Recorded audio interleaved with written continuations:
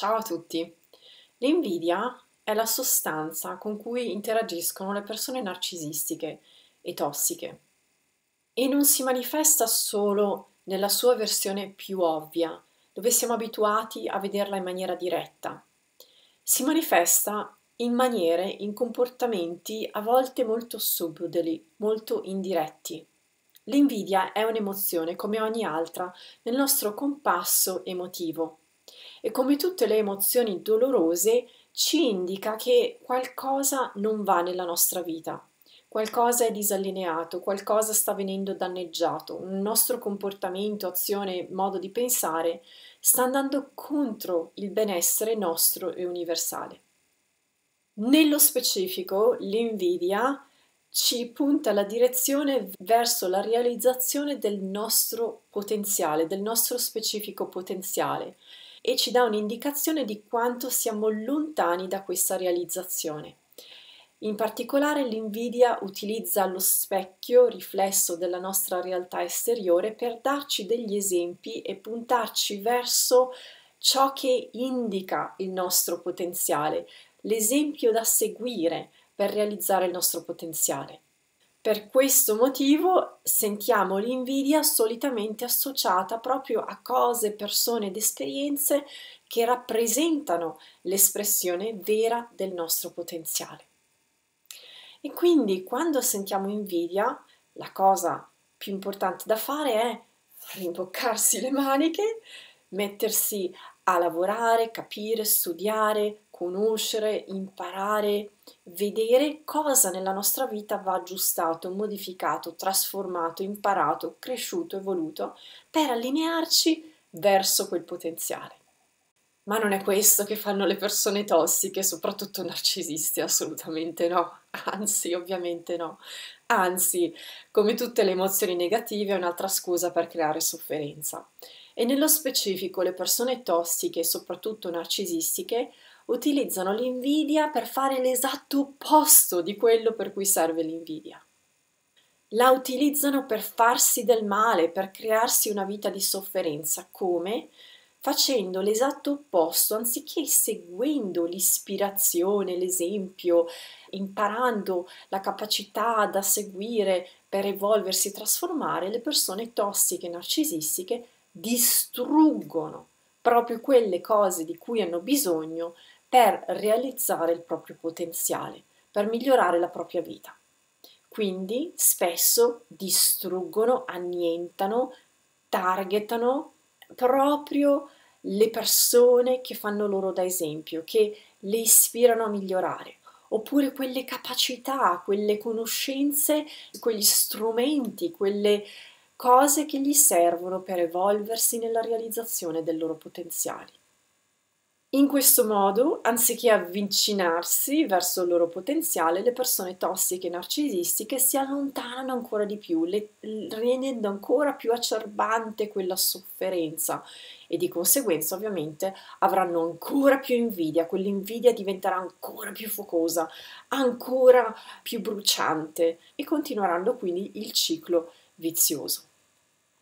L'invidia, soprattutto quando si manifesta in gruppi, in società, in sistemi o addirittura in intere nazioni, quando viene t- utilizzata in questo modo tossico e narcisistico, ha il potere di creare povertà e scarsità e di mantenere nella miseria l'intero gruppo di persone. Mi viene in mente questa metafora molto famosa del secchiello di granchi, dove viene utilizzato come esempio un secchiello pieno di granchi. I granchi hanno tutta la capacità di uscire dal secchiello, hanno la forza di arrampicarsi sul bordo ed uscire, ma ogni volta che un granchio inizia ad arrampicarsi per uscire dal bordo, gli altri granchi gli si aggrappano, facendo peso e tirandolo giù, e di conseguenza nessuno esce e tutti i granchi muoiono dentro il secchiello.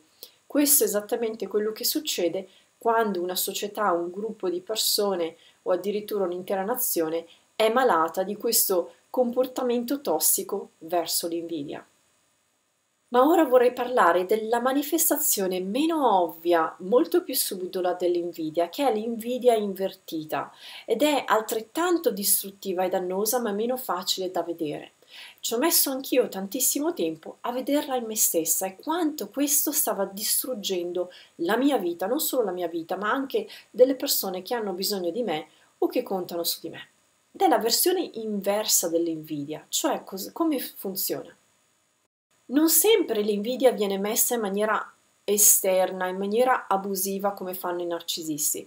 Se siamo più persone che tendono ad esempio alla codipendenza, al sacrificio, possiamo mettere in atto un'invidia invertita, dove abbiamo ad esempio internalizzato una realtà invidiante nei nostri confronti durante la nostra crescita, socializzazione, nella nostra famiglia, cultura, educazione origine, e abbiamo imparato a mettere in atto invidia verso noi stessi, o meglio comportamenti di invidia tossica verso noi stessi. Ma aspetta un attimo, com'è possibile mettere in atto questi comportamenti di invidia tossica verso se stessi?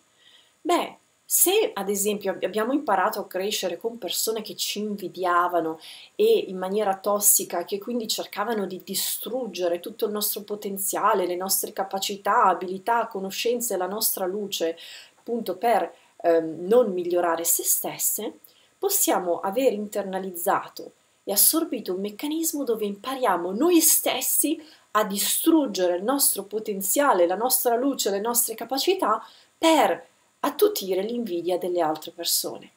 E devo ammettere che questo è un comportamento che io ho imparato a mettere in atto inconsciamente.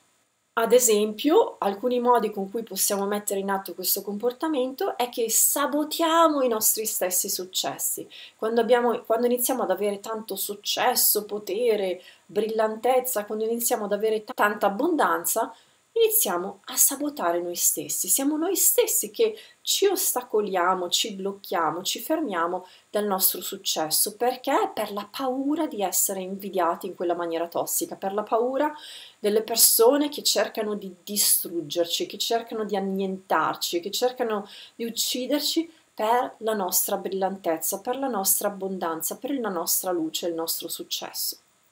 Oppure ci sminuiamo, diventiamo estremamente modesti, ci rimpiccioliamo, ci abbassiamo, cerchiamo di metterci al di sotto degli altri per paura di provocare quelle persone che si sentono inferiori a noi e che ci vedono come superiori e che ci invidiano in maniera tossica. E quindi ci umiliamo, ci abbassiamo, ci rimpiccioliamo neghiamo la nostra capacità, neghiamo i nostri talenti, neghiamo nostra, il nostro potere, neghiamo la nostra luce.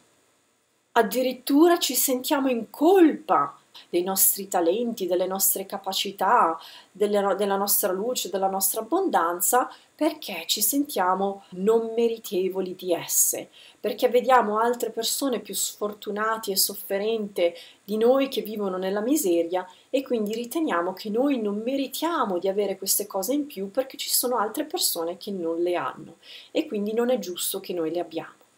Ad esempio mi ricordo addirittura un, nel mio caso un episodio che è abbastanza divertente se vogliamo, ce ne sono stati sono cresciuta con dinamiche ben più tossiche, ma questa, questo modo un po' divertente per farvi capire questa dinamica, mi ricordo che crescevo e vivevo in Italia ed, ed andavo a scuola in Italia eh, da bambina, uno dei talenti che avevo è che ero molto brava a disegnare e c'erano dei bambini in classe che mi invidiavano e questi bambini a un certo punto hanno convinto l'insegnante a peggiorare i miei voti perché non era giusto che io avessi un talento in più degli altri. E io effettivamente in quell'episodio ho iniziato a sentirmi in colpa del fatto che avessi i miei talenti. Ho iniziato a pensare che fosse ingiusto che io fossi così brava a disegnare e gli altri no. Questo è un episodio un po' divertente, innocuo, ma per farvi capire come funziona l'invidia invertita.